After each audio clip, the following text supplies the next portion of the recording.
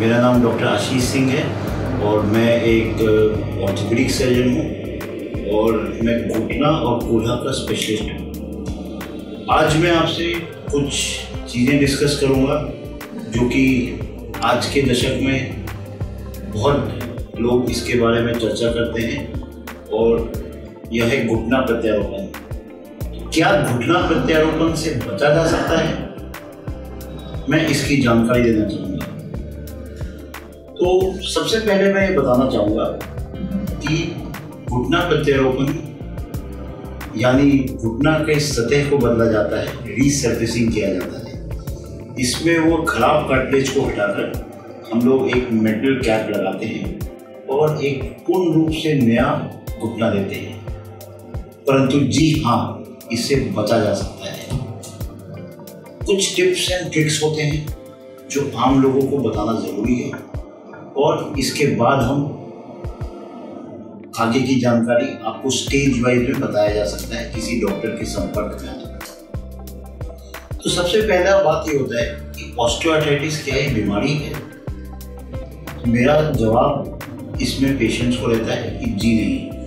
जिस प्रकार से बाल सफ़ेद हो रहा है स्किन में विंकल्स आ रहे हैं, उसी प्रकार से हमारा हड्डी भी घिसता है और घिस कर कार्टिलेज उसका खराब हो जाता है और फिर दर्द शुरू हो जाती है। इसे ही ऑस्टियोआर्थराइटिस बोलते हैं।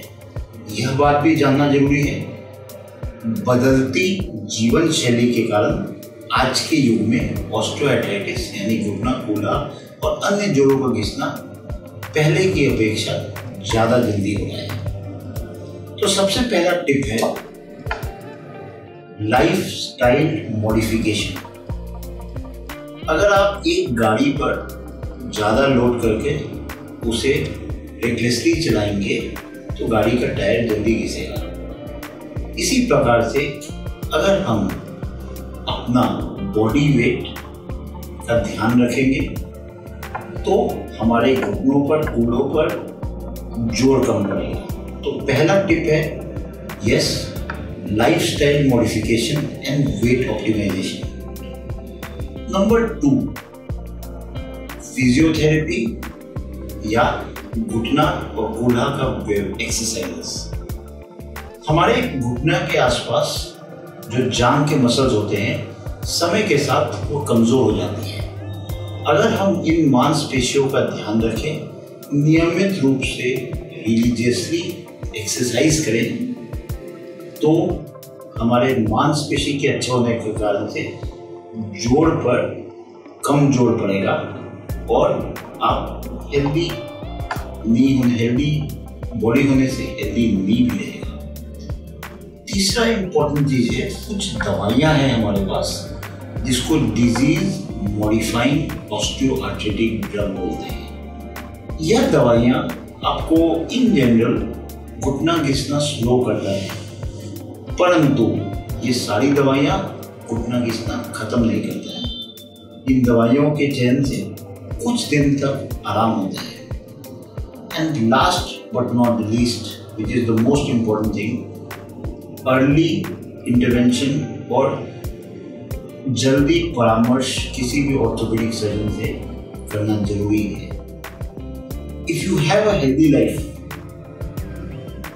your mind will feel free और हमारे माइंड में एंडोर्फिन सीरीज़ होता है, जो सेंस ऑफ़ वेलबींग प्रोड्यूस करता है। तो हम लोग का नज़र भी घुटने से या कूल्हे से या ज़ोर से लगता है और हमें कम दर्द का एहसास होता है। तो जैसा कि मैंने बताया, सबसे पहला stage lifestyle modification number two weight optimization number three physiotherapy या जांग और काफ के मसल्स को स्ट्रॉन्ग करने का व्यवस्थित व्यायाम। Number four a balance diet which is very important इसमें मैं ये भी ज़ोर देना चाहूँगा कि जंक फ़ूड वगैरह हमें कम करना होगा और बैलेंस डाइट के साथ ही कैल्शियम एंड विटामिन डी उपयुक्त मात्रा में सेवन करना होगा। एंड लास्टली अर्ली इंटरवेंशन या जल्द परामर्श ज़रूरी है, क्योंकि जोड़ों का दर्द के और भी बहुत कारण होते हैं, जिसका हमें अनुमान और इन्वेस्टिगेशन कर, हम इसका इलाज किया, कर सकते हैं। धन्यवाद।